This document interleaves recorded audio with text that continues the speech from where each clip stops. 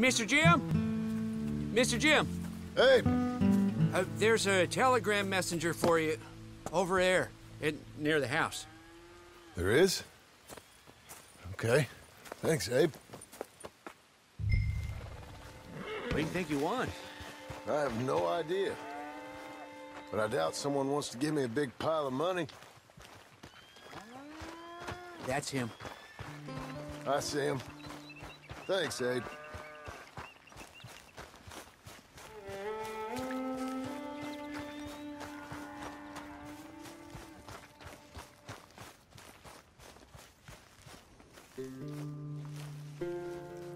Excuse me, mister.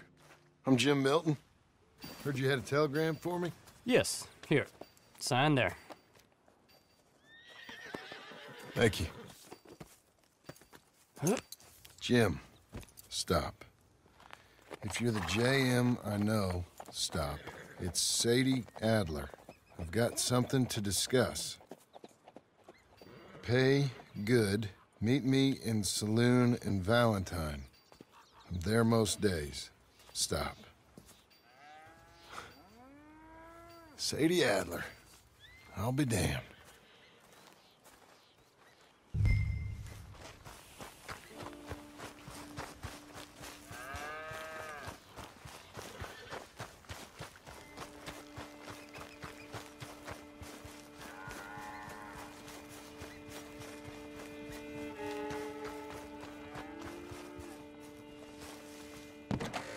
Abigail.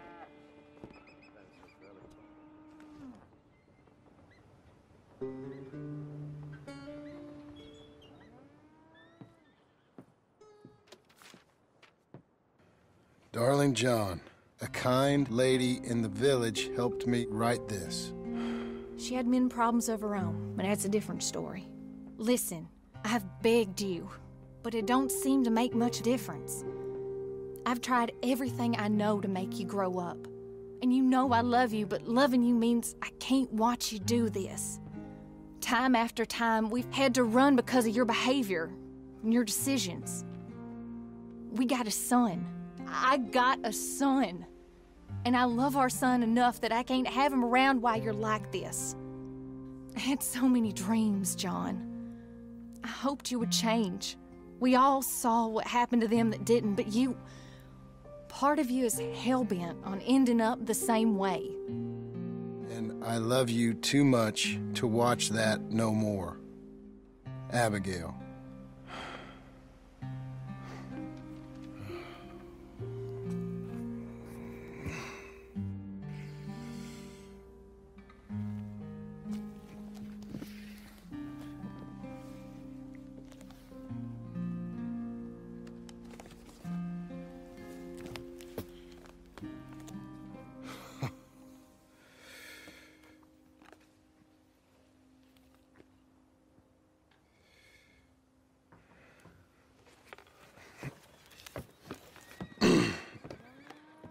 Where's the wife, Milton?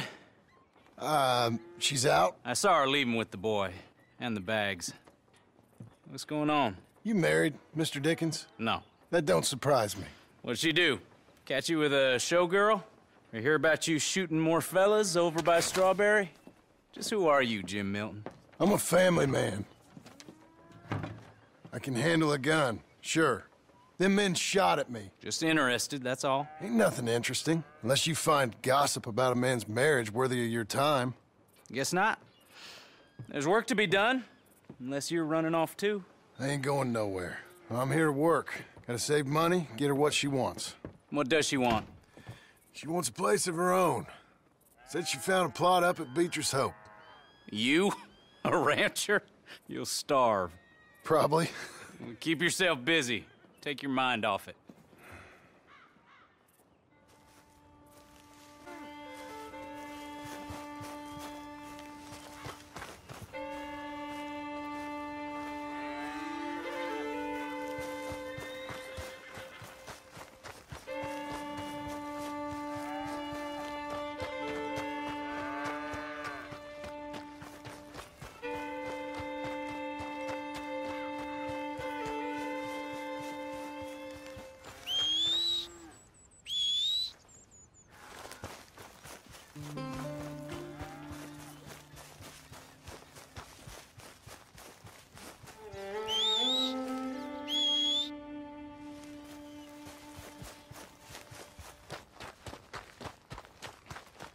Well,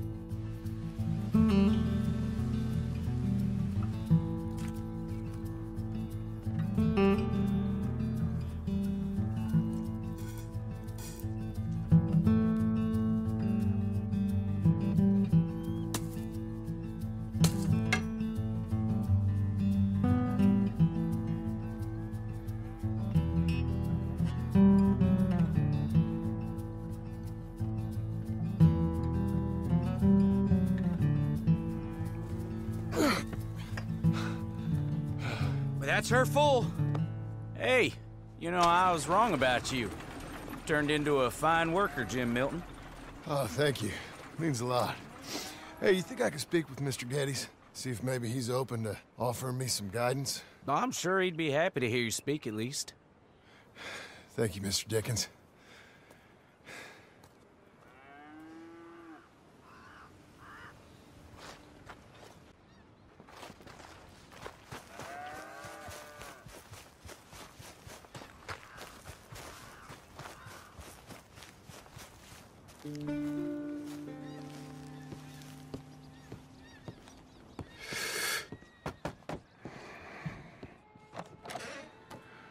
Hey, son. How's that bull? Fine, Mr. Milton. Your father in? Can I have a word? Sure, I'll just get him. Pa! I'm right, right here. What's the problem, Milton? Sorry for the disturbance, sir. Oh, no problem. My wife, she just began her morning discourse on the subject of my faults. Hmm. Experience I think every man can relate to. In some ways, my wife. My wife also has issues with some of the decisions I've made. Real issues. Hmm? Do you believe a man can change, sir? Where is this heading? I guess I don't know. I've tried to be a good hand. I've worked hard to secure your property, And for that, we are grateful. and you've paid me well besides. The thing is, I suppose, I need to get a place of my own so I can prove to my wife that I've changed. I understand. But I ain't got much money. I ain't asking to borrow none. But maybe you could go to the bank and put in a good word so they could give me a loan? A loan, huh? So I can buy that place, Beecher's Hope? Yes, I know it. Yes, of course, sure. It'd be, it'd be my pleasure. But take my advice, Milton. Take your money and go buy passage on a boat. Go to Brazil and forget all about family. I'm just joking, son. Just make sure you deal with Ansel Atherton at the bank. He's a distant cousin. Here's my name. Tell him to ask me direct himself. You'll get what you need. Thank you, sir. Yeah, I was young and dumb once, too. You'll get her back.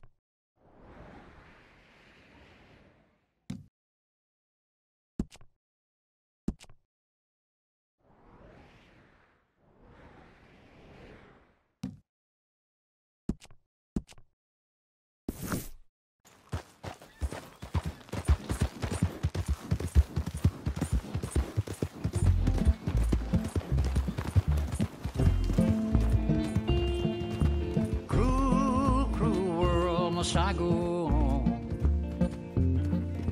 Cruel, cruel world, I'm moving on. I've been living too fast, and I've been living too long. Cruel, cruel world, I'm gone. This big old world sure got me running around. Heard a voice that said, just settle down.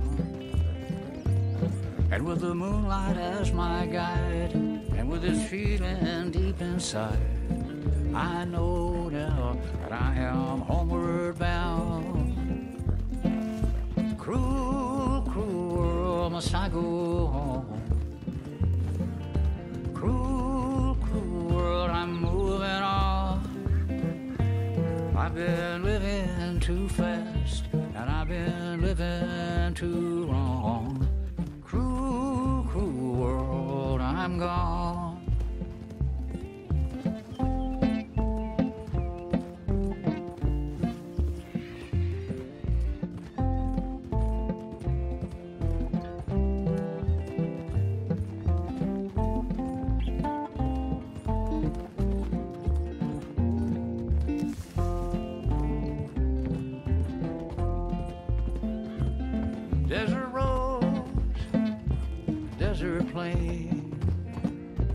I have seen so much pain. Now I see into the eyes of a girl. No more, no more cruel world. Cruel, cruel world, must I go on?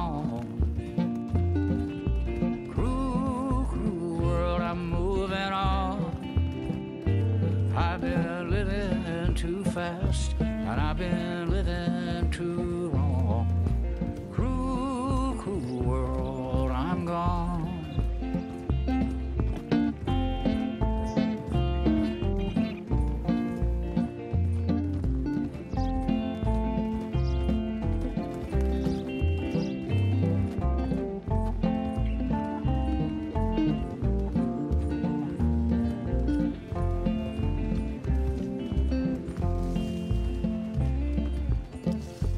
dusty trail, saw a vapor light. Was it a mirage? I don't know, but it seemed right. I felt mission, I felt trust. I knew then that I must go to her from this cruel world.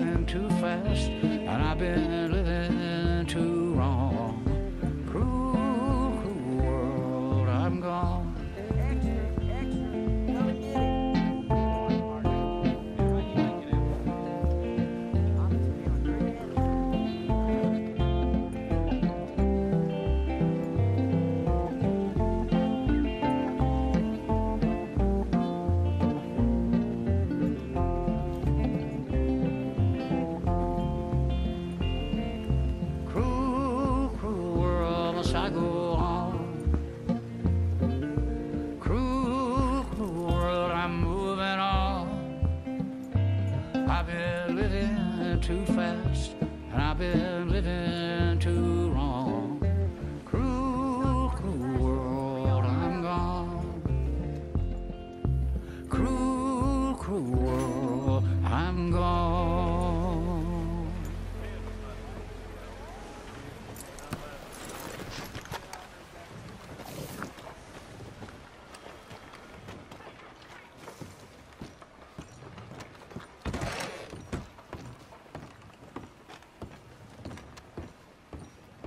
Hey there.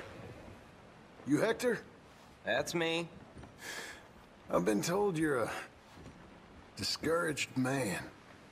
Ah, you must be a friend of that Josiah Trelawny. Mm. All right. In that case, I've got something here you might want to take a look at. Mm hmm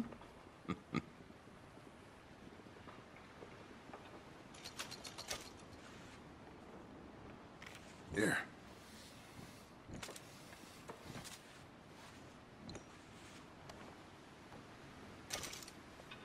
There's a state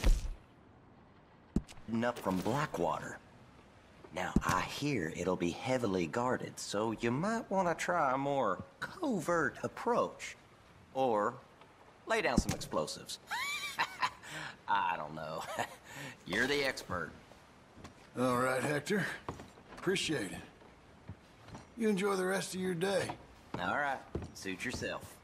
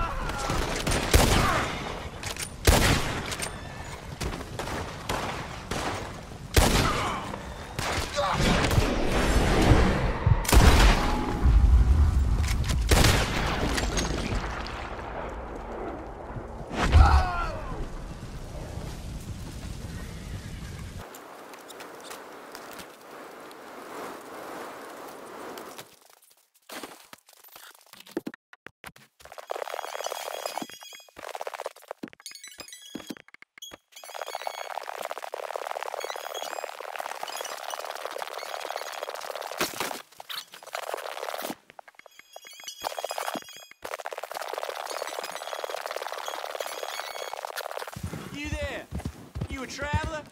Well, we ain't from around here neither. We're from Laramie. The range out here's real inhospitable. You see, we're paid to make